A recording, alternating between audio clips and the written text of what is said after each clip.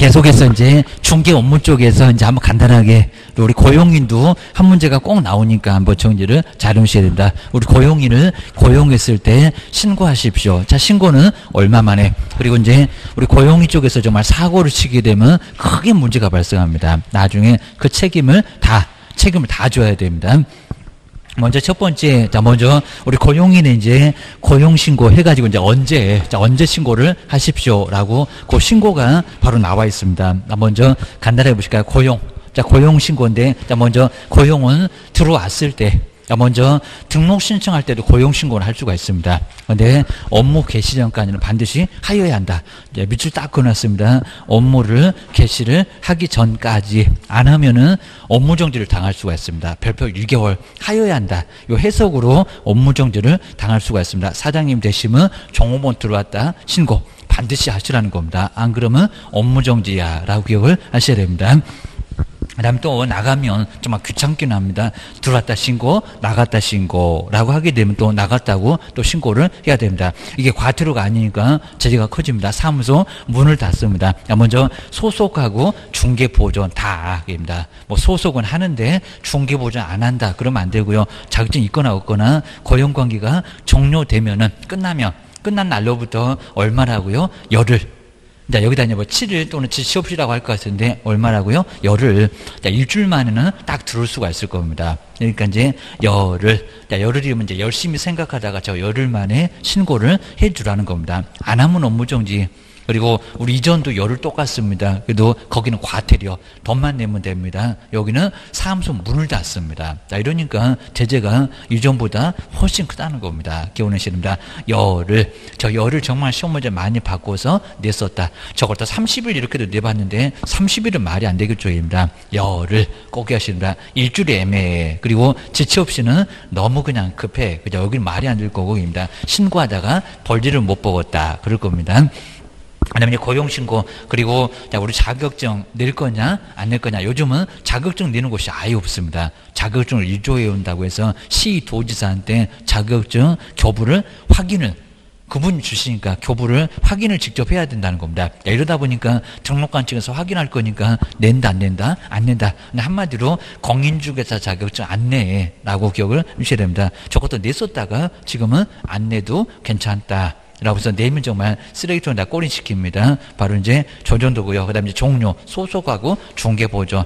소속 공인주사는 업무를 수행도 할 수가 있고 계약서 쓰라고 맡겨도 괜찮습니다. 근데 중개보조는 안 돼요. 커피 타고 청소만 하게 해야 돼요. 라고 기억을 하셔야 됩니다. 그냥 5번 그냥 문장으로만 나왔을 거고요. 자, 외국인은 고용을 하면은 결격사에 해당되는 해당되지 않음을 입증할 수 있는 서류를 첨부를 해야 된다. 외국인은 조회를 못 하겠다. 그러니까 이제 앞에서도 외국인은 직접 입증하십시오. 라고 해놨습니다. 그리고 고용신고를 받은 등록관청 다 확인하겠죠. 교육 받았냐? 실무교육. 그리고 중개보조는 직무교육. 요 수료 여부를 뭐 한다? 우리 법에다가 확인을 하여야 한다. 라고 해서 확인은 반드시 하라고 했다는 겁니다. 그거 기억을 하셔야 됩니다. 하여튼 지금 보시는 고용신고, 종료신고 1번, 2번 여기는 아주 중요해. 자주 물어봐. 라고 기억을 하셔야 됩니다. 그다음 이제 아래에 이제 밥상 세 개가 나올 건데, 자 먼저 자첫 번째 우리 일본 문장도 많이 냈었고요. 무슨 행위는 그리고 추정이냐 아니면 본다냐. 무슨 추정도 시험 문제 우리 법령에서 내봤습니다. 추정 간주는 민법에서 내야 되는데 왜 법령에서 내가고 내가 지금 민법 문제 푸나 법령 문제 푸나 헷갈렸대요. 라고 정말 그랬었습니다. 너무 어이없다고 했습니다. 저런 게 왜 나와? 그입니다. 자, 먼저 1번을 보실까요? 개업공사가 고용했던 고용인, 그 소속하고 중개보조를 둘을 고용인 겁니다. 대다가 쓰니까. 근데 무슨 행위라고요? 업무상. 여기다가 모든 행위 그러면 안 된다는 겁니다. 그렇게 시험 문제 냈었습니다. 업무상 아래다가 모든. 자, 모든 행위를 다 책임져라 차라리 죽으라고 해라. 합니다. 그런 것은 아니고 여기입니다. 신나게 밖에 나가서 누굴 두들겨 패고 왔다. 그건 지 팔자. 우리 팔자 아니라는 겁니다. 근데 사무소 내에서 벌어지면 다 우리 팔자. 문단 속을 철저히 하셔야 됩니다. 아, 그를 고용했던 누구 행위로 보겠다고요? 정업원 행위는 본다. 본다는 꼼짝 못하니까 이게 번복이 안 되고 나중에 깨지고 뭐하고 아무것도 안 됩니다. 책임져. 그러면 예, 고소리밖에 못한다고 했습니다. 뭐라고 했다고요? 본다.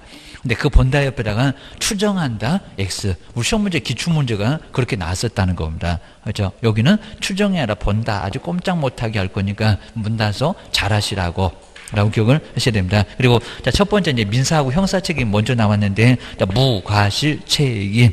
그게 이제 둘이 똑같이 책임져라 뭐 연대 책임. 정말 과실이 없어도 고용인이 과실이 있으면 우리한테는 과, 고유 과실이 없어도 뭐라고요? 책임을 져라. 그리고 무슨 책임이라고 합니까? 연대. 연대면 종업원하고 우리 사장님 같이 입니다. 자, 가치입니다. 자, 종업원 먼저 책임 물으세요. 근소리 할 수가 없습니다. 연대 측은 똑같이 책임을 지게 하겠다는 겁니다. 천만 원 깨먹었다. 그러면 천만 원 같이 책임져라. 요 소리 하게 돼 있습니다. 그리고 이제 거기서 이제 우리 중개의뢰는 정말 신났다고 했습니다. 선택적으로 되고 그리고 자 보통 우리 연대 책임 그냥 진정한 연대 책임에서는 선택만 됩니다. 여기는 공동으로도 다 책임을 다 물을 수 있대요. 자 그런 것까지 심하게는 안 물어보는데 아주 매도매수만 신나네. 니네 둘 다 한꺼번에 같이 책임져. 그러면 둘 다 예 이럴 수밖에 없다는 겁니다. 둘 중에서 하나 고르세요. 연대는 그래도 그렇게라도 얘기를 한다는 겁니다. 그런 소리도 못해. 라고 해서 진정한 연대 책임보다 더 무겁다는 겁니다. 아주 꼼짝 못하니까 정말 조심하시라고. 그 다음 이제 옆에 이제 23페이지에 뭐가 된다고요? 구상권, 구상권 행사를 할 수 있다는 겁니다. 그 다음 이제 1번이 형사책입니다. 형사책임. 벌금으로 벌을 하겠다. 둘을 나란히 벌하니까 양벌, 양벌이라고 보셔야 됩니다. 이 양벌 규정 형사 책임 그입니다. 형사 책임에서는 하여튼 예외가 많아가지고 문장도 엄청 길 겁니다. 꼭 주의하셔야 됩니다. 여기도 이제 작년도에 바로 또 언급을 했었고요. 개업공사고 소속 공인주서 이제 다 들어간다고 법인의 임원 그리고 사원이 중개 업무에 관해서 그리고 저 48조가 3학년 3반 그리고 49조는 1학년 1반 자, 정서해서 다섯 개 3학년 3반은 그리고 유사 사무소 하면서 49조는 11개. 거기 규정에 해당되면은 그러니까 징역이나 벌금에 해당되면은 누구를요? 행위자를 권한 후에 그 행위자가 종업원이요 외에 누구도 개업공사에 대해서도 그러니까 이렇게 둘을 나란히 벌하니까 뭐라고요? 양벌 그럽니다. 대해서도 해당되는 조에 규정된 뭐를 간다고요? 벌금형을 가겠다. 벌금. 자, 우리한테는 징역이 있다 없다? 없다. 근데 우리 시험 문제가 어렵게 나왔을 때는 동일한 벌금형을 가한다. 또 이렇게 됐었다는 겁니다. 벌금은 동일하다 안 하다? 안 하다. 정원공 벌금하고 우리 개업의 벌금은 다르다. 라고 해야지 그걸 또 같다. 그러면 거기도 맞지 않습니다. 그것도 기억을 꼭 한번 해놓으시면 좋을 것 같습니다. 그래서 시험 문제가 어차피 하나는 반드시 나오니까요. 정리를 한번 꼭 한번 해보셔야 됩니다. 그 다음 이제 아래쪽에 이제 여기 이제 행정처분. 행정처분 등록 취소는 업무 정지입니다. 어두시면 안 되면 꼭 없어진다. 이중 소소. 정말 옆집 가서 근무할 수 있다는 겁니다. 그건 반드시 등록을 빼앗기니까 문단 속을 잘 하시라고 합니다. 정말 자꾸 없어지네. 그러면 뒷공문을 밟아봐야 됩니다. 안 그러면 큰 문제가 됩니다. 문 닫으면 3년 동안 영 못합니다. 그래서 문제가 커지니까 정말 조심하셔야 됩니다. 그리고 사무소 자꾸 비우다 보니까 중개보수 막 초과해서 받고 지지 팔고 이러면 큰일 난다는 겁니다. 등록 취소 받을 수 있다는 겁니다. 금지 행위로. 이런 식으로 개업 네가 그랬어 해서 책임집니다. 그러니까 이제 네가 대신 책임자라 대입 책임 이럽니다. 자 먼저 자 미용법 보실까요? 고용인의 업무상 행위로 개업공사가 뭐를 받을 수 있다고요? 행정처분. 자 등록 취소나 업무정지라는 행정처분을 정말 받을 수가 꼭 있다는 겁니다. 자 그 정도로 꼭 문제가 되니까요. 여기도 이제 점검을 한번 해보시면 좋을 것 같습니다. 그래서 여기도 이제 한 문제가 반드시 나오니까요. 그리고 교재 그냥 쭉 늘어 써놨, 예, 써놨으니까 한번 간단하게 꼭 보고 22페이지인데 여기도 한 문제가 반드시 나오니까 꼭 한번 봐주시면 좋을 것 같습니다. 먼저 이제 여기도 이제 고용인에 대한 책임인데 한 문제가 이제 간단하게 나오고 그리고 여기는 어렵지 않으니까 이런 거 꼭 맞춰야지라고 이제 고용인 고용인에 대한 책임인데 바로 22페이지 보시면 될 것 같습니다. 바로 이제 그래도 뭐 요약집에 다 있을 거 있습니다. 고용인 우리 쓴 사람 고용인의 그리고 책임인데 좀 고용 안 할 수가 없습니다. 그리고 어차피 이제 월급을 뭐 기본급은 요즘은 거의 안 주니까요. 그리고 사무소에 근무 여러 사람 시켜도 정말 괜찮다는 겁니다. 그리고 여러 명 있으면 괜찮습니다. 그냥 혼자 그냥 뻘쭘하게 앉아 계시면 우리 여자분도 괜히 그냥 남자 시커먼 남자가 혼자 앉아 있으면 들어가지도 않습니다. 이러다 보니까 바로 종업원 여러 명 두고 영업하는 것도 괜찮아요. 여기입니다. 괜히 또 잘 되는 사무소 여러 명 있으면 그렇게 또 인식도 하니까 계약도 편할 수가 있습니다. 그래서 이제 고용 안 할 수가 없을 건데 책임질 거야. 기하셔야 됩니다. 먼저 첫 번째 신고를 자, 신고를 먼저 하셔야 됩니다. 들어왔다 신고, 나갔다 신고, 업무정지 당한다고 했습니다. 자, 먼저 첫 번째 고용, 자 고용 신고를 혼자 정말 일 못할 거니까 고용할 건데 신고하시라고. 개인 또 이제 건강보험료, 자, 의, 자 나중에 또 연금 이런 것들 부담되니까요. 고용 신고 안 했었다가 나중에 자, 문제가 되면은 또 큰일 난다는 겁니다. 근데 자 그때는 지금 현재는 수습입니다. 이러면 된다는 겁니다. 조만간에 신고할게요, 여기입니다. 지금 아직 임시 직이니까 일 배우니까 그렇게 이제 둘러치면 아무 문제가 없다는 겁니다. 괜히 또 바보같이 2박 3일 싹 살피면 너 사무소 문 닫아 이렇게 떨어집니다. 이거 문을 닫아야 됩니다. 자, 고용신고. 자, 먼저 등록 신청할 때는 이렇게 등록 신청할 때는 신고를 할 수가 있고요. 자, 등록 신청 때는 꼭 하라고 안 했습니다. 자, 신고 할 수 있다. 할 수 있다고 했습니다. 근데 언제는 할 수 있다는데 언제는 하여야 한다. 이제 여기서 안 하면 이제 업무 정지를 얻어맞을 수가 있다는 겁니다. 언제요? 업무 우리 종업원이 업무를 개시 뭐 시작이라고 해도 괜찮고요. 업무 개시 전까지는 뭐 한다고요? 개시 전까지는 신고 하여야 한다. 고용 신고 반드시 해야 된다는 겁니다. 고용 신고 그리고 하여야 한다. 그래서 여기서 이제 하여야 한다. 안 하면 명령 규정 위반으로 그러니까 아무리 봐도 거의 세 명에서 무슨 고용인 이런 얘기는 안 나옵니다. 해석으로 가능하다는 겁니다. 그럼 신고 안 하면 업무 정지야. 이게 100만 원약 과태료가 아니라 업무 정지 당해서 사무소 문을 닫을 일이 생긴다는 겁니다. 종업원 신고 안 했을 때 이 정도로 크게 문제가 됩니다. 두 번째 이제 또 나갔다는 겁니다. 종료 이렇게 이제 들어왔다고 신고 나갔다고 신고 우리 사장님 입장에서는 상당히 좀 귀찮기도 한다는 겁니다. 어쩔 수 없죠, 입니다. 종료 신고, 자 종료 신고 그리고 예전에는 이제 우리 고용 신고도 열흘 열흘 이내 이렇게 했었는데 여기는 아니고요, 좀 빨라졌습니다. 업무 계시죠? 근데 나갔다 신고는 종료된 후 얼마 이내 신고하라고요? 저 열흘 저 여기는 종료 후 종료가 이제 나갔다 그입니다. 종료 후 얼마이네요? 열흘. 자, 열심히 생각하다 그입니다. 왜냐하면 지체 없이 그러면 또 들어왔네. 그럼 또 고용신고. 또 나갔네. 그러면 난리가 날 겁니다. 이러다 보니까 시간 정도를 주겠다는 겁니다. 근데 일주일도 애매해입니다. 일주일 딱 그죠? 월요일 날 나갔다가 월요일 날 또 머리 긁고 또 들어옵니다. 그럽니다. 지금 나간 며느리도 이렇게 열심히 생각하다 이제 안 불러주면 이제 들어갑니다. 그러니까 바로 얼마라고요? 열흘, 열흘 이내에 뭐 한다고? 정말 열심히 생각하다가 들어올 거니까 열흘 이내에 뭐 하라고요? 신고하라고. 근데 이제 열흘 넘어가면 이제 안 들어올 거예요. 그러니까 이제 신고하라고 기억을 하셔야 됩니다. 아, 금방 보셨네요. 만약에 신고를 하지 않으면 이제 제재는 거의 안 물어봤는데요. 뭐라고요? 업무정지. 사무소 문을 닫게 하겠다는 업무정지. 그리고 꼭 해석으로만 가능하면요. 이제 계약금 등의 반환 채무 이용 보장은 별표가 나왔습니다. 이놈도 안 나오라는 소리 안 할 겁니다. 별표, 별도 표가 있는데 얼마라고요? 1월. 요거는 1개월입니다. 3개월 아니고 6개월 아니고 거의 대부분 다 3개월인데 그거보다는 좀 약하고 입니다. 그리고 6개월까지는 안 유급입니다. 그 다음 이제 두 번째가 책임. 자, 우리 시험 문제는 요 책임에서 이제 바로 시험 문제가 나옵니다. 책임. 자, 먼저 첫 번째는 민사 책임입니다. 민사. 자, 요 민사가 이제 요 민사 책임은 손해배상 책임입니다. 손해를 입혔다입니다. 손해 배상하십시오입니다. 그럼 손해배상 어떻게 할까요? 둘 다 똑같이 입니다. 그럼 이제 우리 고용인이 자 우리 고용인 쪽에서 뭐 있다고요? 손해를 입혀놨습니다. 손해. 그래서 이제 손해를 입혀놨는데 요 손해를 얼마를요? 천만 원을 입혀놨다는 겁니다. 그러면 누구요? 정호모도 손해배상, 요거 배상을 해야 된다는 겁니다. 근데 고용인 행위가 금방 보셨네요. 우리 개업의 행위로 똑같다고 본다는 겁니다. 자, 이 정도로 책임을 묻습니다. 아까 봤던 것처럼 우리 고용의 책임도 모든 행위 말고 업무상 이랬으니까요. 업무상 이것도 정말 많이 불었고요. 업무상 행위입니다. 모든 행위 말고 그러니까 이제 여기다 모든 X 이렇게 꼭 잘 보시고요. 그 다음 이제 본다. 개업공사 행위로 보겠다. 종업원의 행위는 개업의 행위요라고 뭐라고요? 꼼짝 못하게 본다. 이게 간주라는 겁니다. 근데 시험 문제가 추정한다. 뭐 공복이 됩니까? 뭐 반대되는 입증 해봐야 수가 없습니다. 뭐 입증할 생각 자체를 하지 말라는 겁니다. 추정한다. 이런 거 없으니까 와서 얘기하지 말고 책임져. 그럼 얘만 해. 겁니다. 여기는 추정한다. 그런 소리가 아예 없다는 겁니다. 그래서 이제 고용인 행위는 누구의 행위로 본다고요? 개업 공인주사의 행위로 볼 건데 우리 개업공사가 뭐 한다고요? 당신이 손이 입혔네요. 이렇게 보겠다는 겁니다. 개혁 공인중개사 또 뭐라고요? 똑같이 둘 책임지라는 바로 뭐라고요?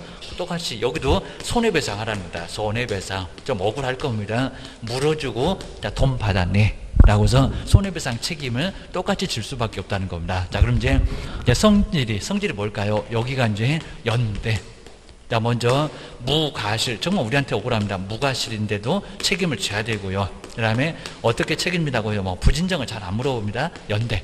자, 둘 다 똑같이 연대 책임을 지고 순번도 없다는 겁니다. 동시까지도 책임 가합니다. 그리고 뭐라고요? 물어주고 구상권, 종업원한테 돈 내놔. 라고 종업원 대신 물었으니까 뭐는 가능하다고요? 구상권 행사는 가능하고 정말 꼼짝없이 당한다고 민사 책임은 정리를 해 놓으시라는 겁니다. 보셔야 됩니다. 두 번째 형사로 보시까 이제 정말 밥상 세 개입니다. 형사 책임. 자, 요 형사 책임은 둘을 나란히 벌하겠다. 그죠? 사장님한테 벌금을 이렇게 벌금형을 가하겠다는 겁니다. 그럼 여기도 이제 고용인, 고용인 이제 아까 49조 그리고 48조 이런 것들이 바로 행정 형벌 이렇게 형벌입니다. 형벌 형벌이니까 징역이나 벌금, 징역이나 벌금에 해당됐을 때 이제 큰 것만 얘기합니다. 징역. 그리고 벌금에 해당되는 행위를 하면은 아까도 봤잖아요. 고용인 행위는 개업의 행위요. 라고 해서 근데 우리 개업한테 너도 징역사로 차라리 죽으라고 해라 합니다. 법은 절대 죽으라고 안 합니다. 뭐라고요? 벌금. 이렇게 벌금형을 가겠다는 겁니다. 그럼 징역은 있다 없다? 없다. 자, 이건 너무 가혹하니까 징역은 없다. 아주 퍽도 생각한다. 자, 둘을 나란히 벌한다. 뭐라고요? 양벌. 양벌, 규정, 우루.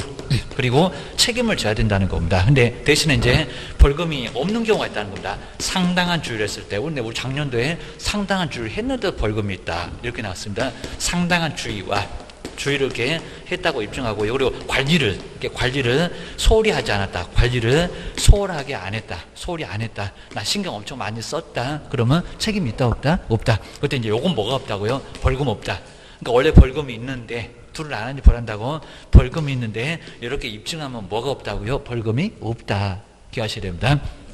그리고 정부 때문에 벌금을 300만 원 이상을 부담을 해도 이렇게 부담해도 300만 원 이상 했을 때입니다. 그래도 등록 취소는 된다 안 된다. 아까 벌금 받으면 300만 원 이상이면 절대적 등록 취소가 된다고 했습니다. 근데 여기는 종업원 때문에 벌금을 부담했다는 겁니다. 등록 취소 된다 안 된다? 안 된다. 이런 식으로 예배가 좀 많다는 겁니다. 하여튼 입증해봐봐. 그러면 벌금 없고, 그리고 벌금 받았다고 해도 300만 원 이상이라고 해도 등록 주소는 아니다. 우리 정부는 행위니까. 벌금 내는 것도 아까워 죽었구만. 자, 대신에 여기다가 벌금 냈다고 해서 구상권 된다, 안 된다. 이건 구상권 안 됩니다. 괜히 또 구상권 어디서 봤다고. 그건 손해배상에서 봤지. 여기는 구상권하고 관련 없다는 겁니다. 벌금 내도 그걸로 끝이다. 문단속 잘못했다. 이렇게 보고 있습니다. 그 다음에 세 번째는 요 세 번째가 제일 무섭다고 했습니다. 행정책임. 행정책임은 등록 취소 약입니다. 등록 취소. 자, 등록 취소. 등록 취소가 되면 3년 동안 영 못합니다. 근데 여기도 이제 여러 개는 없고요. 자, 먼저 우리 고용인이 하지 말라는 금지 행위를 했네. 막 추가해서 총계 보수를 받거나 아니면 또 이중소소. 정말 꼭 오후 2시만 되면 뭐 없어지면은 그 뒷공문이라 한번 밟아봐야 됩니다. 좀 아주 심부름 센터에다가 100만 원이라도 주고 아주 저것이 어디 가는지 한번 신경을 써봐야 된다는 겁니다. 그럼 누구한테요? 우리 개업 공인주사가 누구를 요 사람 대신해서 등록 취소를 우리 개업이 등록 취소 받습니다. 요거는 등록 취소를 이렇게 등록 취소를 받을 수 있는데 행정처분은 뭐라고 합니까? 요거는 대위. 이거 대위라는 겁니다.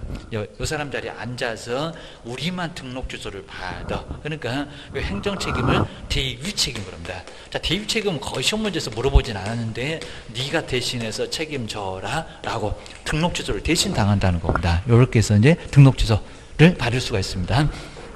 이 정도로 그렇다고 해서 저 종업원 고용 못 하겠네 그러면 그러시면 안 되고요. 그래도 고용해서 써야 됩니다. 그죠? 걔도 집 보러 가면 아예 그냥 문 닫아놓고 그러면 저 집부터 장사 안 하나 이런 식으로 도 되고 불편하봐야 나중에 그 집 안 가니까 여기는 어쩔 수가 없다는 겁니다. 하단에 어쩔 수가 없으니까 여기 이제 근무를 시켰을 때 여러 가지 책임이 있다는 겁니다. 이거 꼭 물어본다. 기원하셔야 됩니다. 그 다음 이제, 이제 더 중요한 부분 이제 23페이지에 이제 바로 겸업. 한 3번 정도에 보면 겸, 어, 그리고 요즘 이제 업무적은 거의 안 냅니다. 한번 간단하게 볼까요? 23페이지 중간에 업무적. 자, 법인하고, 그 다음 이제 분사무소 같으면 바로 자격증 있으니까 여기는 전국, 업무 지역이 전국입니다. 전국 다 할 수가 있습니다. 세종시만 아닙니다. 옆에 대전, 그리고 서울부터 저 밑에 제주도까지 다 가능합니다. 전국. 근데, 자, 부칙은, 자, 부칙이 이제 개업공사인데 여기는 자격증 없는 사람. 그러니까 법 아래다가 보이지도 않게 써놓은 사람입니다. 이 사람은 자격증 없다. 자격증 없는 사람 뭐라고요? 시도. 시도. 그러면 업무 지역이 등록관청보다는 넓어. 기억을 하셔야 됩니다. 아, 그 정도만. 그리고 이제, 여기 이제 업무적이 전국 일다가 딱 한 번 있다는 겁니다. 이제 요즘은 많이 안 내는데, 다만, 다음 주에 배우실 건데 거래 정보망에다가 가입을 하고 그러니까 인터넷 통신망에 막 물건이 토지 건물 거기 다 있습니다. 거기 가입하고 뭐를 하면요 이용을 하면은 그러니까 가입만 해서는 안 된다는 겁니다. 뭐 하면 이용을 하면은 업무적이 어디라고요? 그때는 전국 이제 관할 외니까 외의 그 소리가 이제 전국입니다. 그 망 안에서는 전국이다. 막 심하게 자세히 안 물어볼 건데 망을 이용을 하면은 아니면 공개된 경우에는 공개된 물건은 전국 물건을 다 할 수 있다는 겁니다. 좀 업무정지 당합니다. 시도를 벗어나면은 그거 기억을 해주셔야 됩니다. 그런데 이제 중개 대상물에는 차이가 전혀 없습니다. 저기 뭐 부칙도 토지부터 저 끝에 공장, 광업시설까지 모두 다 할 수가 있습니다. 근데 뭐가 차이가 있다고요? 지역에. 지역에 차이가 있는 거지 물건에는 차이가 있다 없다? 없다. 자 그럼 거의 안 낼 정도인데 하다 1번 2번. 자 그런 건 이제 겸업. 요 겸업은 이제 무조건 시험 문제가 나오니까 겸업자. 그 다음 이제 겸업의 범위. 해서 이제 뒤로 뒤로 넘어가도 될 것 같습니다. 자 다음에 해당되는 중급하고 겸업.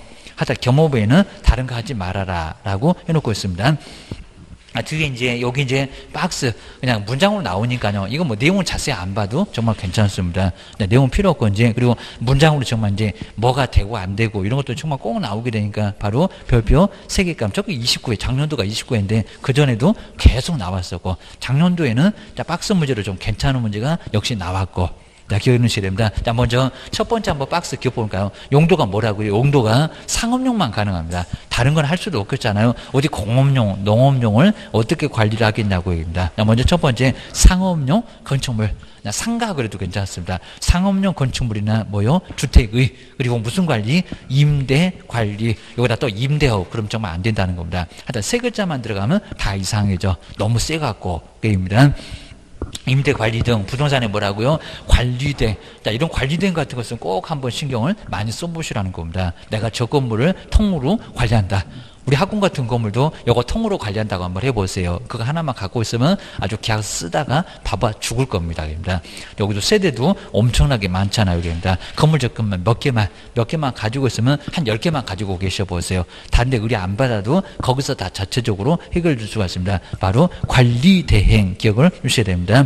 건물주도 한번 만나보고 알지도 않긴 하겠지만은 언제든지 한번 찾아가서 보고 그러셔야 됩니다. 그 다음 이제 두 번째 니모시가요. 부동산에 이용 그리고 무슨 상담? 개발. 근데 여기다가 개발업 이렇게도 정말 냈었다는 겁니다. 뭐라고요? 개발 상담.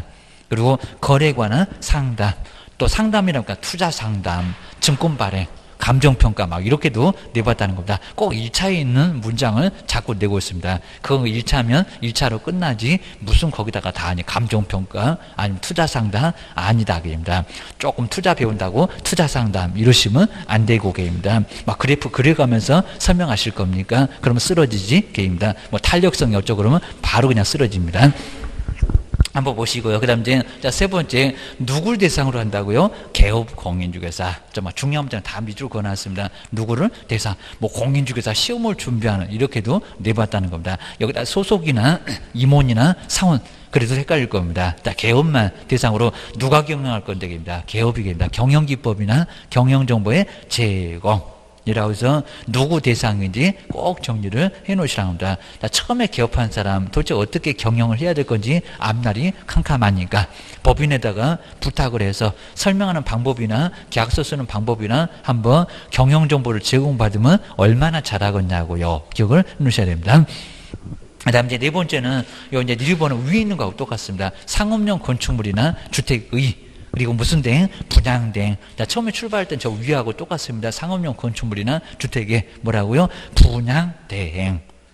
지금 이제 견본주택 그러잖아요. 모델하우스라고 하지 말고, 자, 우리가 이제 배웠으니까 용어가 달라지면 달라졌다고 그입니다. 뭐 홍보관 이렇게들 얘기는 많이 하던데, 하여튼 법률상 용어는 견본주택입니다. 샘플. 그다음에 무슨 대행? 분양 대행입니다. 근데 여기다 분양업. 그러면 말이 된다, 안 된다? 안 된다. 그리고 자, 기업번에 있는, 1번에 있는 것은 토지에 분양된 관리된 건 된다, 안 된다? 안 된다. 토지의 그러면서도 시험 문제, 기출 문제가 나왔다는 겁니다. 좀 이따 또 써볼 건데, 오셔야 됩니다.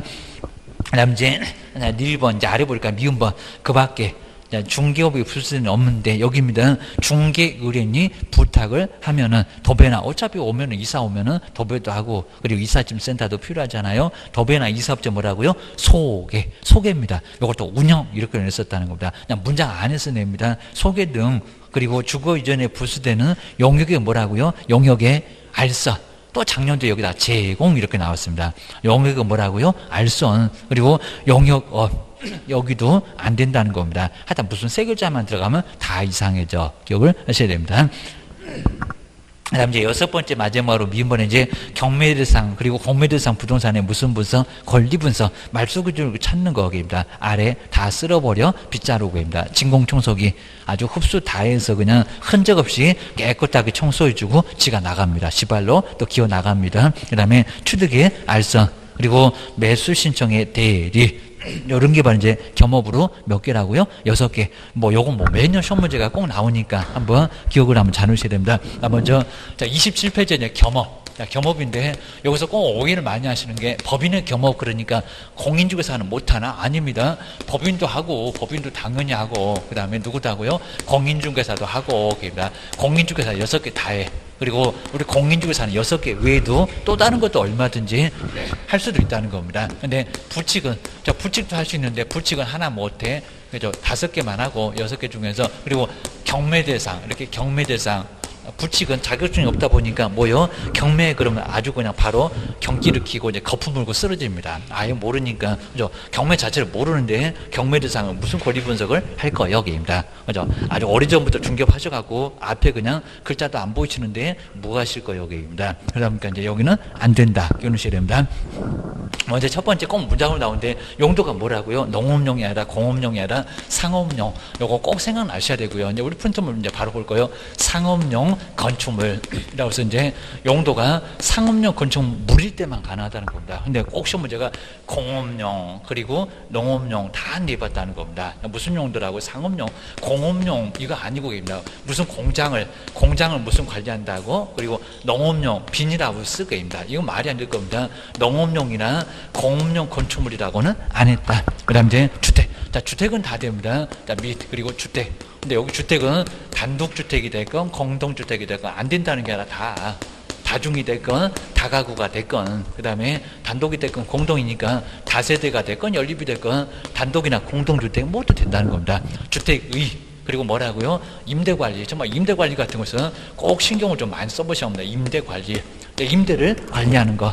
자, 임대업 그러면 건물을 막 사다가 그런 거니까 말이 안 된다는 겁니다. 기억하셔야 됩니다.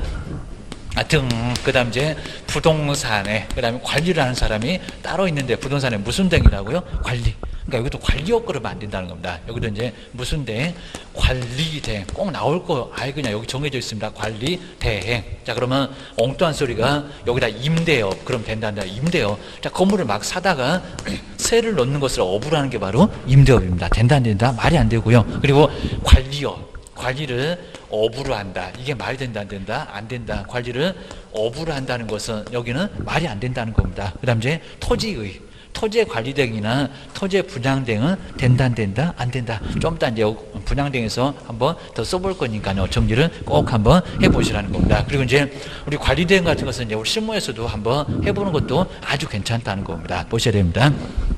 아, 이렇게 이제 건물 이렇게 있으니까 입니다. 건물. 자, 그럼 이제 우리 세종시에 있는데 갑은 저기 갑이라는 사람이 건물 소유권자인데 어디 있다고요? 서울에 있어요, 여기입니다. 서울에 있을 때도 이제 우리는 또 KTX도 없으니까 서울에서 내려오려면 한 두 시간 가깝게 걸려요, 여기입니다. 저는 이제 서울에서 내려오는데 그냥 여기는 상당히 좀 시간이 걸릴 겁니다. 그럼 이제 여기 지금 세종시에 위치에 이제 상가 건물이 이렇게 하나가 있으니까 그러면요 이거 관리가 어렵잖아요. 자, 그럼 이제 누가요? 옆에 있는 의리, 우리 개업이 제가 관리를 해 줄게요. 자, 이런 식으로 해가지고 관리를 맡으시라는 겁니다. 그리고 이제, 자, 건물 하나 정도가 아니라, 그리고 이제 주변에 이제 계속 돌아다니면서 말이 통하면 하고, 말면 그냥 말고 계입니다. 아니면 이런 식으로 쪼개가지고 건물 한네개 다섯 개 그리고 한열개 정도만 가지고 있으면 관리 할 때 오늘은 이 건물에서 계약서 쓰고 내일은 또 예약돼 있고 다음 날은 또 여기도 예약돼 있고 또 건물 예약돼 있고 난리가 난다는 겁니다. 들락날락하니까 들락날락하니까 이런 것들은 괜찮을 수 있다는 겁니다. 근데 항상 우리 문제가 되는 게 이렇게 관리 대행을 하면서 관리 대행을 하면서 사고가 자꾸 많이 났다는 겁니다. 근데 요 사고가 많이 났는데 요 사고가 개업이 낸 경우도 있고 이상한 컨설팅 사업자가 냈는데 꼭 우리가 낸 것처럼 오해를 받는 경우도 많이 있었다는 겁니다. 조심하셔야 됩니다. 왜냐하면 먼저 첫 번째 갑은 처음엔 잘하니까 그럼 세, 아, 세종시 우리 을을 아예 믿고요. 아예 그냥 믿어놓고 이제 뭐 합니까? 우리 서울에 내려오기 싫으니까 우리 개업한테 감은 또 있다는 겁니다. 그럼 이제 갑이 위임장 저기 데리고 수요 표시 있잖아요. 125조 위임장하고 인감증명서 이런 것들을 바로 이제 갑이 아예 떼준다는 겁니다. 그럼 이제 그 위임장이 네가 알아서 전세계약 써라 임대차 계약서 써라 라고 해서 팔지만 말아라 좀 고난을 넘은 표현들이가 되니까 이런 식으로 해가지고 이런 것들을 위임장에 다 써놨다는 겁니다. 그러니까 이제 나중에 101호 A 101호 이제 세입자 A가 가려고 하니까 내가 다 할 수 있으니까 갑을 안올 거고 사장님은 저기 따로 건물주는 따로 있는데 내가 알아서 하니까 그렇게 위임장 보여주고 그러면 요 사람도 대리권 수여 받았네. 그러니까 가능하다는 겁니다. 정말 할 수가 있습니다. 이렇게 얼마든지 할 수가 있으니까요. 이제 문제가 되는 게. 그래서 이제 그러면 이게 분명히 월세였다는 겁니다. 월세. 그럼 이제 요 한원수가 월세. 월세는 이제 보증금 얼마? 천만 원 그리고 이제 월세가 월세가 이제 보통 한 50만 원이면은 50만 원이면은 요걸 받으면 좋은데 이제 사고가 났었던 게 요걸 안 받고요. 뭐라고 하냐면요. 갑자기 우리 개업이 이제 잘 하다가 이제 삼천포로 빠집니다. 갑자기 우리 을이 요게 요 건물을 전세라고 전세라고 해 가지고 전세로 돌린다는 겁니다. 전세로. 그러면 요 금액 정도면요. 이게 거의 1억에 가깝다는 겁니다. 또 지금 요즘 따블입니다. 옛날에 50만 원은 보증금으로 따지면 5천이었는데 지금은 따블로 늘어났다는 겁니다. 그러면 전세로 1억에 나왔다라고 누가 하고요? 아예 건물주는 아예 코빼기도 안 보이니까 알아서 썼다는 겁니다. 보셔야 됩니다. 그리고 이제 여기 누가고요? 저기 101호 있는 A하고는 전세 계약서 쓰고 그다음에 수익권자는 무슨 계약서 썼다고 합니까? 원래 월세였으니까. 그래서 이제 우리 소유권자한테는 저기 아 용도가 따로 있습니다. 여기다가 이제 세입자 A를 주고 우리 소유권자한테는 그대로 또 줬습니다. 보증금 여기는 천만 원에 그다음에 월세가 얼마라고요? 50만 원. 자, 그럼 이제 얼마가 지금 차익이 남습니까? 9천. 자, 그럼 이렇게 이제 9천씩, 자, 9천씩 저기 모아서 모아서 이제 계속 모읍니다. 그러면 건물 한 10개, 10호 호수 10개만 되면 얼마래요? 9억입니다. 9억. 자, 이런 식으로 호수가 10개밖에 안 됩니까? 더 돼요. 그럼 만약에 한 50개다. 그럼 이제 여기다가 5구 45 벌써 이제 40억, 45천이 됐습니다. 이런 식으로 요걸 모아서 모아서 모아서 근데 한 건물이 아니라 여러 건물에서 해가지고 저기 거제도는 막 900억 정도의 사기가 있었습니다. 이거 이 정도로 해서 요걸 모아서 모아서 자꾸 사라지는데 지역마다 막 한 번씩 꼭 거지만 있는 게 아니라 막 경기도 어디서도 나타나고 이런 경우가 정말 많았다는 겁니다. 그러니까 이런 경우가 많이 생긴다는 겁니다. 정말 그럴 수 있겠잖아요.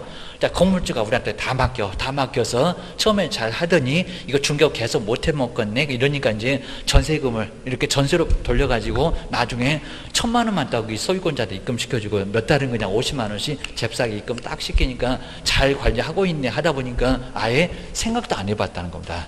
아예 그냥 세종시 쪽으로 오줌도 안 쌌습니다. 이러다 보니까 요 돈을 모아서 모아서 그 다음에 결론적으로 한 뭐 수백억 되면은 그때 조용히 사라지고 없다는 겁니다. 그래서 아예 그냥 하와이 가가지고 국내를 안 들어옵니다. 소묘시효, 소묘시 10년을 아니까 그리고 보통 사기 같은 것도 한 10년 넘어가면 따지기도 어렵다는 겁니다. 자, 그러다 보니까 이런 경우가 정말 많이 생겼다는 겁니다. 근데 이것은 이제 문제가 되는 게 바로 이게 만약에 컨설팅 업자가 많이 또 그랬었다면 컨설팅 건물 관리한다는 컨설팅 요 컨설팅 업자가 그러니까 지금 계약서 안 쓰는 거잖아요. 건물만 관리하겠다고. 근데 요 컨설팅 업자가 우리 기업들한테 이 건물 빨리 좀 계약서 좀 써달라고 이게 전세라고 해가지고 이런 식으로 돈을 계속 받았다가 그리고 돈이 일정한 돈이 딱 모이니까 그러니까 거제 900억이라고요. 모여서 나, 나중에 요 컨설팅 업자가 다 도망가고 다 없어졌다는 겁니다. 그리고 자, 그 당시도 이제 우리 거제 같은 경우도 건물이 몇 개가 됐어요. 몇 개가. 몇 개가 돼서 그래서 거기 학원생 중에도 이제 합격하신 분이 계약서 막 두 개 쓴 사람, 세 개 쓴 사람 난리가 났었다는 겁니다. 경찰 다 불러갖고 다 조사했습니다. 이게 문제가 된다는 겁니다. 조심하셔야 됩니다. 근데 그러면은 우리 개업들이 여기서 뭐, 무슨 문제가 생기냐면요. 우리는 확인에다가 설명한 사람인데 왜 끌려가서 경찰에서 조사받았을까요? 문제가 됐다는 겁니다. 책임 있으면 이거 책임 다 집니다. 문제가 된다는 겁니다. 근데 확인 설명할 때 이 확인을 그냥 위임장 인감증명서로만 보고 신경을 안 쓰면 안 된다는 겁니다. 나중에 이제 우리 판례 보게 되면요. 원 주인한테, 원 주인한테 금액이 맞는지 여부 등을 확인해라. 그런 판례가 나와 있다는 겁니다. 그러면 확인도 전혀 안 하고요. 그냥 위임장만 딱 보고, 그 다음 인감증명서 한번 보고, 그리고 막 기간도 그냥 소멸된 것도 있을 건데, 나중에 문제가 된다는 겁니다. 그러면 확인을 잘못했다고. 책임을 누가요? 우리 개업이 질 수밖에 없다는 겁니다. 그러면 여기 이제 9천만 원씩 차익이 난 것들은 어떻게 하려고요? 그러면 개업이 책임져야지. 이런 식으로 돼가지고 책임지는 경우가 생긴다는 겁니다. 이 정도가 문제가 발생할 수 있다는 겁니다. 그리고 이 건물 자체가 다 막 경매로 나가서 난리가 났었다는 겁니다. 그럼 뭐 경매로 나가면 또 싸게 낙찰 받겠네. 그럼 그 손해는 다 누가 책임질까요? 이 계약서 쓴 사람. 이렇게 문제가 된다는 겁니다. 그래서 꼭 조심하셔야 됩니다. 물론 이제 여기도 이제 우리 수요권자도 대리권 수요 표시 이렇게 대리권 수요 표시에 의한 표현되기 때문에 여분들 책임을 같이 지겠습니다. 정말 심하면 책임 비율 몇 대 몇 해가지고 책임을 같이 질 수밖에 아예 없다는 겁니다. 이 정도로 돼가지고 큰 사건이 꼭, 근데 이게 큰 사건 자체가 꼭 주기적으로 이렇게 나옵니다. 그러니까 제가 이런 것들은 이렇게 하라는 게 아니라 절대 하면 안 된다고 얘기합니다. 이상한 거 배워가지고 나중에 하시면 큰일 나요. 나 중급 도저히 못하겠다고 한 수백억, 수천억 이렇게 챙겨가고 도망가시면 큰일 난다는 겁니다. 안 돼. 라고 해서 이런 사건이 생기는데 적법하게 관리하게 되면 이런 건 정말 괜찮다는 겁니다. 좀 임대 관리 저렇게 좀 어, 멀리서 좀 살고 있는 사람한테 나중에 가서 제가 관리해 줄게요. 그러면 그러라고 맡긴다는 겁니다. 그럼 관리 잘 해주세요. 그러면 다른 건 뭘 없어도 이게 이제 전속 중개 계약이나 다름없다는 겁니다. 자, 건물 통으로 관리를 잘 하면 상당한 수익이 많이 생기고요. 그리고 이제 우리 조금 생각 있는 우리 개업들은 요즘에는 요거 이제 관리한다고 주택관리사 자격증 따시겠다고 하시는 분도 많이 계십니다. 그러니까 내년부터 이제 상대평가로 합니다. 왜냐면 우리 막 여기서 이제 주택관리사 공인주사는 과목이 한 반 정도 겹쳐요. 거기도 민법 있습니다. 거기도 공법 있습니다. 회계 원리만 좀 어렵지. 그냥, 그냥 숫자 약하면 뭐 다른 걸로 좀 채우면 될 거니까요. 거기 민법 총칙은 그렇게 많이 어렵지도 않습니다. 공인주사보다는 좀 쉬우니까 그것만 잘 하시면 편안하게 주택관리사 자격증도 딸 수가 있다는 겁니다. 그렇게 해서 그 이제 주택관리사 관리 소장 된다는 게 아니라 관리하려고 자격증 있으니까 저한테 맡기세요. 그러면 그러자라고 할 수 있다는 겁니다. 근데 저기는 주택관리사 자격증이 없네. 그럼 우리가 말하게 되면 그냥 네한테 맡길게. 라고 해갖고 관리를 맡길 수도 있다는 겁니다. 그건 여러 가지 배우니까 기억하셔야 됩니다. 자, 그것도 정말 괜찮을 수가 있고, 그 다음 이제 두 번째 부동산, 뭘까? 부동산을 깁니다. 부동산에 무슨 상담? 문장 다 안내봤습니다. 이용 상담, 그리고 무슨 상담? 개발 상담, 그리고 또 무슨 상담? 거래에 관한 상담. 자, 뒤에 꼭 상담이 들어갑니다. 근데 상담은 저 뒤에가 있어갖고 여기다가 이제 개발업 나온 이유가 있을 겁니다. 무슨 개발업이에요? 개발 상담이지? 개발 상담. 그래서 여기는 상담이라고 정보 제공, 정보 제공입니다. 이용을 좀 바꿔보시라고 개발을 좀 해보시라고 거래에 관한 상담 필요한 부분 있으면 상담을 해주는 게 바로 여기에 겸업이라는 겁니다. 근데 우리 시험 문제가 개발업 또 낼 겁니다. 개발업, 개발업은 말이 안 되고 뭐를 개발하는 것은 무슨 업을 할 거냐고 그입니다. 그게 또 개론 배운다고 투자 상담, 투자 상담은 이미 내봤었고요. 투자 상담 이것도 아니죠, 그입니다. 그리고 뭐 유동화에서도 아니고 증권 발행 이것도 내봤습니다. 증권 발행 별로음소를 다 합니다. 꼭 1차인 논문장을 끌다가 쓴다고요. 그리고 감정평가학입니다. 감정평가. 감정평가 저 뒤에서 책 뒤에서 배운다고 네가 무슨 감정평가 할 거요? 감정평가사는 놀고 입니다. 이거는 말이 안 된다는 겁니다. 그러니까 금액이 어느 정도 된다. 이런 식으로 해서 우리 의견 가격을 얘기하라고 했지만 감정평가하라는 소리는 아예 안 했다는 겁니다. 자, 이런 것들은 경업에 안 들어가. 라고 기억을 하셔야 됩니다. 그래서 이제 이용 상담이니까 첫 번째 이용을 바꿔봐라입니다. 건물, 건물 그러면 용도를 좀 바꿔보라는 겁니다. 근데 요 건물 쪽 계속 무슨 상가로만 이렇게 쓰고 있다는 거야, 상가. 자, 그러면 저 주변에 보니까 대학가가 많이 있다는 겁니다, 대학가. 자, 그러면 상가를 쓰는 게 더 나을까요? 대학생들 원룸 수요가 많을 거니까 여기는 원룸을 더 많이 요구할까요? 저 요즘 장사도 안 합니다. 왜요? 뭐 알바비가 올라가지고 못 해 먹겠다고 난리가 납니다. 그리고 알바가 그냥 속색인다고 난리고요. 그리고 조금 뭘 잘못하면 또 동영상 찍어갖고 이상한 영업주가 있다고 막 올리니까 겁나서 못 살겠다 입니다. 그리고 너 나가라 그럼 막 부당하게 해고했다고 하고 노동부에 막 신고도 안 돼요. 이래가지고 상당히 골치 아프대요 진짜로. 이런 경우가 많이 있다는 겁니다. 그러니까 여기서 이제 아예 그냥 상가 같은 거 하지 말고 원룸으로 하게 되면 수요가 많이 있을 겁니다. 자 그러면 상가로 쓰던 것을 원룸으로 바꾼다. 그러면 요게 이제 바로 이제 우리 시설군 같은 거 여기서 이제 시험 문제 가면서 나오는 이유가 있다는 겁니다. 그럼 시설군 나오게 자산 전문 이렇게 아부자 따봤잖아요. 자산 전문 하면서 봤는데 자산 전문 그리고 영업 교육 하면서 이제 자산 전문 우리 공인주사 공부가 자산 전문 교육입니다. 자, 교육, 자, 영업, 그다음 이제 교육은 그다음 이제 어디서요? 자, 글린, 자, 글린 그리고 자, 글린 주거 그 밖에 하면서 이제 봤을 겁니다. 글린 주거, 그다음 이제 그 밖에 마지막 거기입니다. 그 밖에 이런 식으로 해서 이제 그 밖에 시설군 할 겁니다. 자. 자동차 등의 시설군, 자동차 시설군이고 이걸 산업 등, 산업 등의 시설군입니다. 여기 이제 뭐 공장, 창고, 뭐 위험 시설 뭐 이런 거 다 정리하셔야 됩니다. 그다음 이제 전기 그리고 전기하고 뭐라고요? 통신. 뭐 우리가 전통 그러잖아요. 문. 자, 문하고 뭐라고요? 집회. 자, 문화 집회입니다. 자, 문화 집회 시설군. 그리고 영업 시설. 그다음 이제 교육. 교육하고 뭐가 있을까요? 복지. 애들이 입는 옷이 교복이잖아요. 그 다음에 글진 생활. 그 다음에 주거. 주거하고 뭐라고요? 주업. 우리 주업은 공부하는 거요. 주거 시설하고 업무 시설군도 여기에 같이 있다는 겁니다. 그러니까 여기 잘 보면 사무실하고 주택은 여기 같은 시설군에 놓여 있다는 겁니다. 자, 그런 것들을 잘 보셔야 됩니다. 자, 그럼 이제 금방 보셨네요.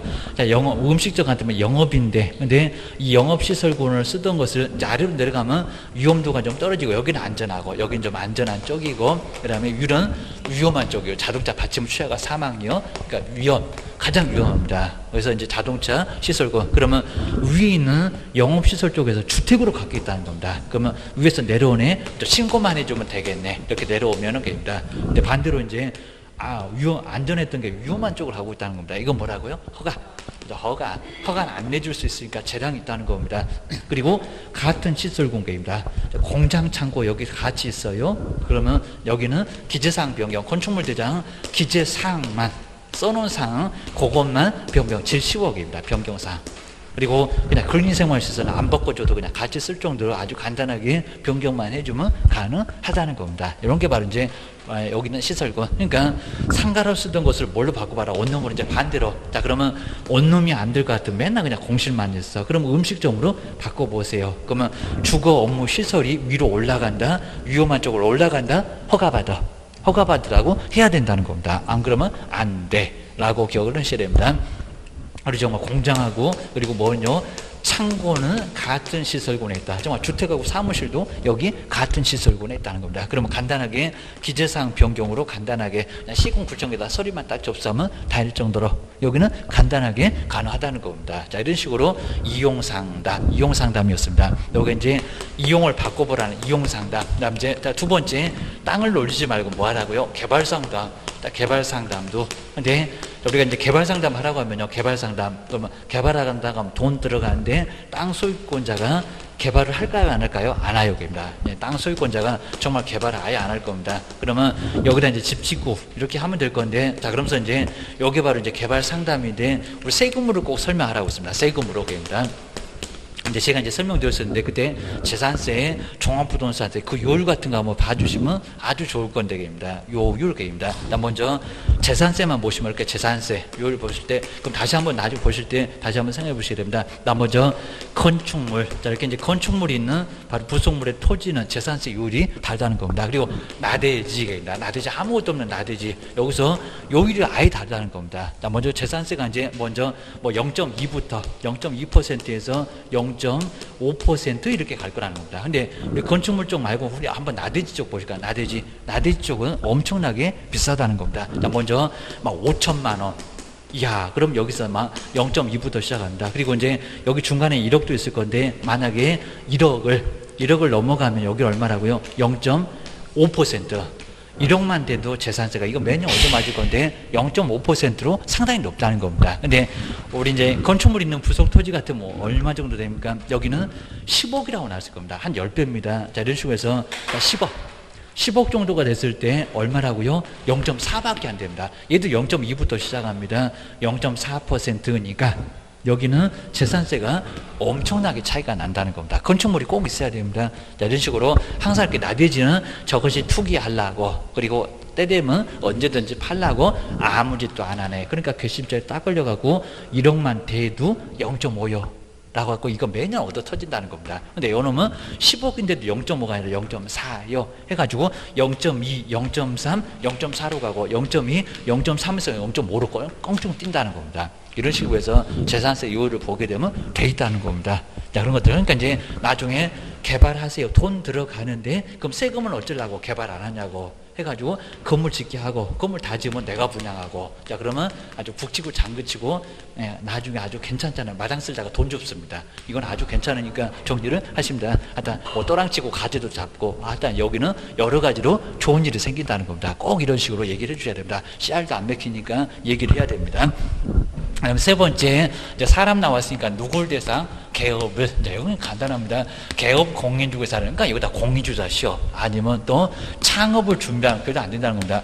공인중개사 개업 공인주사를 대상으로 해서 누가 경영할 거냐고 중개업의 경영 기법이나 그리고 경영 정보 그러니까 누구 대상 요것만 신경 쓰면 되지 크게는 안 된다는 겁니다. 경영 기법이나 그리고 경영 정보의 정보 제공입니다. 정보의 제공 여기는 이제 프랜차이즈 여기는 컨설팅 우리 결혼에서도 컨설팅 이런 얘기 많이 나온다는 겁니다. 그리고 컨설팅도 이렇게 컨설팅 해주고도 컨설팅에 따른 보수를 따로 받을 수가 있다는 겁니다. 양도소득세 전략할 때도 요거는 컨설팅 비용에서 빼준다는 겁니다. 중개보수만 빼주는 게 아니라 기억을 해주셔야 됩니다.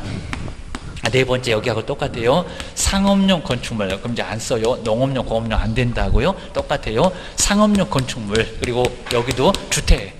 근데 내용만 다릅니다. 자, 상업용 건축물하고 주택의 근데 무슨 댕이라고요? 저기 모델하우스 많이 가시잖아요. 괜히 그냥 가셔갖고 들어온 노도 계시고 막 그러잖아요. 이거 뭐라고요? 분양댕입니다. 분양댕. 요런 집에서 살아봤으면 소원이 없겠다 그러면서 맨날 그냥 요 분양댕 우리도 많이 해볼 수가 있다는 겁니다. 근데 여기다가 또 뭐라고요? 분양업 그러면 안 된다는 겁니다. 분양업이 아니라 뭐라고요? 분양 대행. 남이 지어놓는 거 대행하는 거지 바로 여기는 분양업이라고 하면 말이 안 된다는 겁니다. 그리고 이제 앞에서 토지가 있었을 겁니다. 토지. 토지의 분양 대행 된다 안 된다? 아니면 또 토지 관리 대행. 자, 토지는 아예 안 됩니다. 토지의 이렇게 토지의. 자, 위에 1번 문장 관리대행. 토지의 관리 대행 이것도 시험 문제 나왔습니다. 관리 대행 땅을 관리 대행한다고요? 아니요, 그입니다. 가서 뭐 째려보고 계실 건가요? 아니면 토부를 아주 쓸고 계실 건가요? 택지 사업, 토지 분양 대행 이런 것들은 말이 안 된다는 겁니다. 이런 것 자체가 겸업이 아니요, 땅은 아니요, 땅은 아니요. 땅 위에 있는 상업용 건축물하고 주택이요, 상가하고 주택 외에는 할 수가 아예 없다는 겁니다. 보셔야 됩니다. 다섯 번째 중개 의뢰인이 부탁을 하면 어차피 이사 오니까요. 무슨 업체? 이사업체 이사업자고 그리고 무슨 업체? 도배. 근데 이사업체 도배업체 운영 이렇게 자꾸 나옵니다. 업체에 요거 뭐라고요? 업체에 그리고 소개 전화번호입니다. 소개 등 그리고 주거 이전에 부수되는 무슨 어, 어, 여기는 뭐라고 용역에 그리고 용역은 뭐라고요? 제공이 아니라 알선 바로 여기도 알선 알선이라고 해야지 자꾸 여기다가 이제 운영 그러면 안 된다는 겁니다. 뭔 운영이요? 이 사업자 운영 말고입니다. 소개 전화번호만 그러니까 꼭 나올 문장 정해져 있습니다. 그리고 여기다가도 용역의 제공 이렇게 나왔었답니다. 용역이죠 서비스를 제공한다 말고 전화번호만 알려주고 계십니다. 그리고 용역 어, 서비스를 업으로 한다. 영역을 업으로 한다. 차라리 이삿짐 센터 해라. 중개업 때려치워라. 그럽니다. 여기는 안 된다는 겁니다. 보셔야 됩니다. 여섯 번째 마지막입니다. 경매. 경매나 공매 대상, 경매 물건 싸다는 거 아는데 위험해. 그거 맞긴 맞습니다. 경매나 공매 대상 부동산 권리 분석. 좀 말초기적으로 간단하게 찾으면 됩니다.